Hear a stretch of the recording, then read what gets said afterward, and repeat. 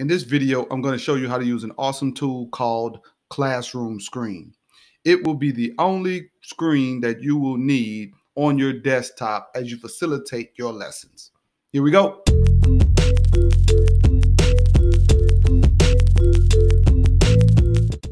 We'll start by going to classroomscreen.com.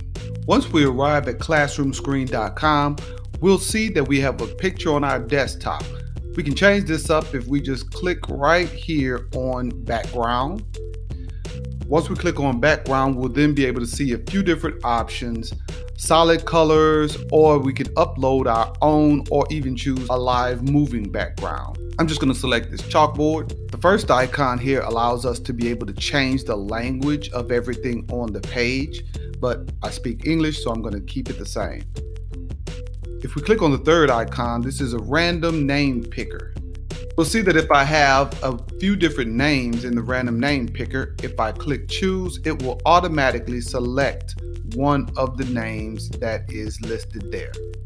I can also save it or upload or import a set of names. At the same time, I have the opportunity to be able to add two of these random name pickers onto the screen.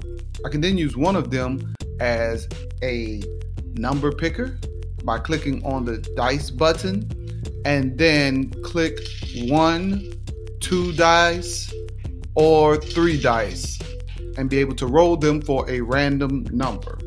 I can remove them by selecting the minus one to remove one or clicking the X button to remove both of them at the same time. The next thing I have available is a sound level. This would be more practical if I were in a classroom setting. So it would be able to use my microphone. I'd click start and allow it, but it would then be able to measure the noise level in the microphone. I can change the sensitivity and everything. There's also a bell there as well. Here under the QR code, I actually have the ability to be able to create a QR code with the information that's typed in the screen. So if I type in wileybrazier.com, it will change the information so that the QR code redirects the person to whatever I put in the URL. At the same time, I can click the plus button to make it larger as well so that it is easier to read. And I can add another one here as well. If I click the plus one down at the bottom, I can also add a second one. I can move it around by just grabbing on to the, to the arrows here. I can close all of them by clicking the X. The next feature that's here is an actual interactive whiteboard. I can click the drawing icon. Here I can have a, a variety of colors that I can use to write anything. I can change it to a variety of types of paper so that students or I can write on. I can change how wide it is by clicking the minus button. I can also clear it by clicking on the X.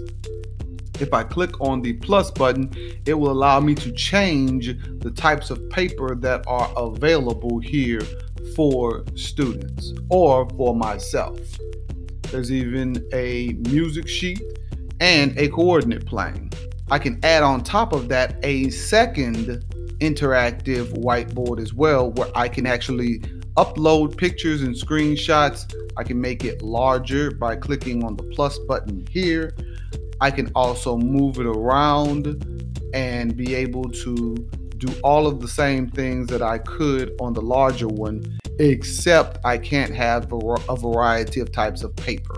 I can also, if I click on the text, I also have the ability to type whatever I'd like on the screen.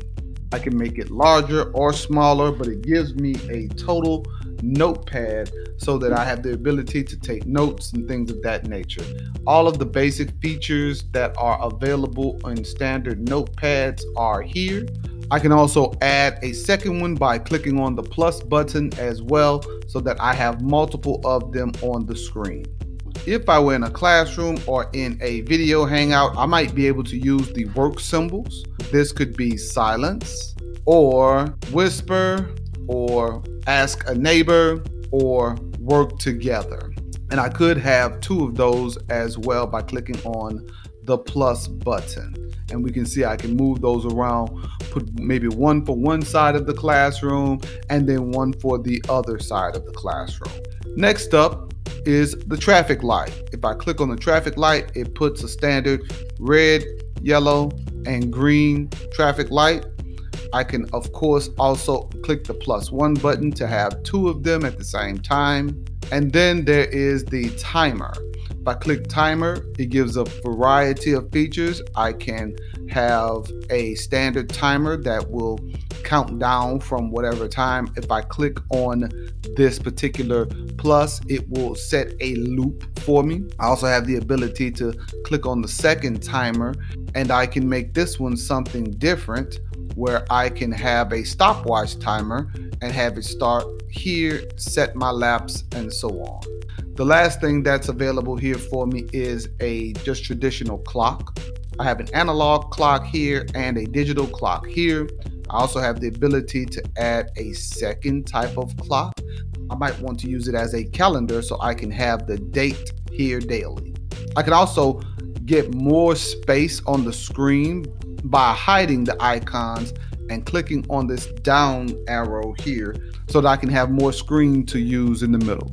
The last thing I have available to me is an exit poll. So if I click here in the bottom right corner, here I can then allow students to be able to give their feelings. I can ask a question.